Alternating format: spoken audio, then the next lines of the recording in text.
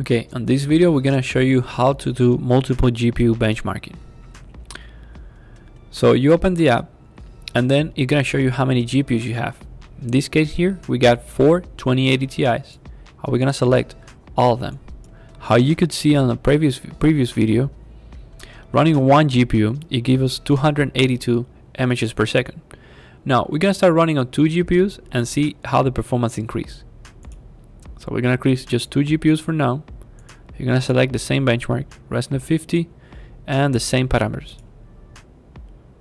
Batch size 32, FP 32, and a thousand iterations per second, or a thousand times the test is gonna be running. We're gonna click apply, and then we're gonna run it, the benchmark. Now on the right side, instantly we can see that two GPUs being utilized right now and it's using almost all the gigabytes of the of the VRAM on these GPUs. Usually they come with 11 gigabyte and it's using 10,856. So it's maxing out the GPU. Water consumption is at the maximum, uh, almost at the maximum, and the utilization of the GPU is 95%. It's utilizing all the CUDA cores and Tensor cores.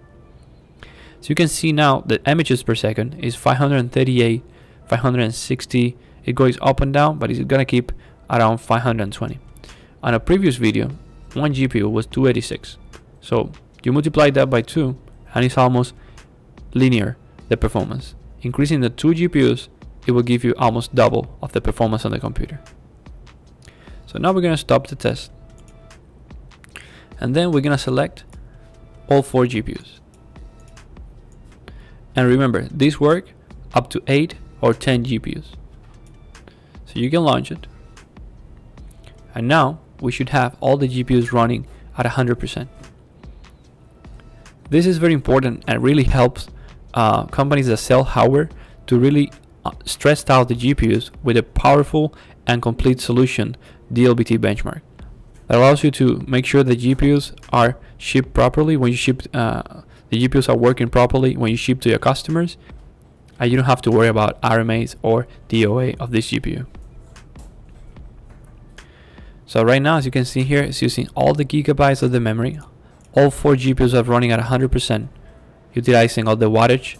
And now your video card will start getting hot. For In this case, you can see it's 46, 41, 51 degrees Celsius because this is running on a water cooling system. Air cooling will be running at 85, 86, and that's when the GPU can get some problems because higher temperature will damage the hardware for the long term. So you can run this benchmark for 2-3 hours and you will understand I will show an error immediately if the GPU has some problems. As you can see we got 170 images per second and we went from 281 on just one GPU to 870 on 4 GPUs. Means that the image classification increase almost double or triple or quadruple every time you increase one GPU.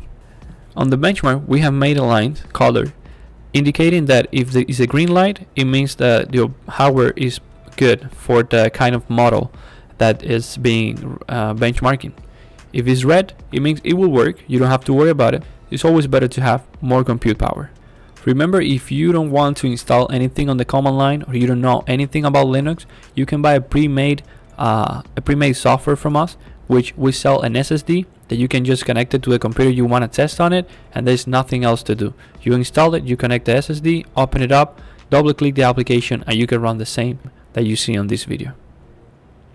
Okay, so we finished and we got a score 870. So this the test keep very stable because the temperature was really nice, like 41, 51 degrees Celsius.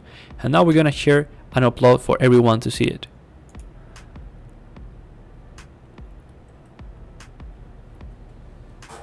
Just put your username again.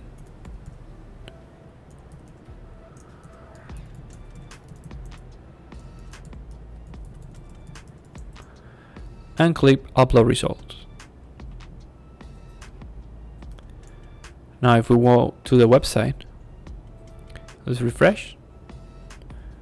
And then we go to ResNet 50. So you can see here, we got our new benchmark. Okay, I hope you enjoyed these videos. If you have any comment or any question, you can always send an email to us at support at technopremium.com and one of our engineers will get back to you in less than two hours.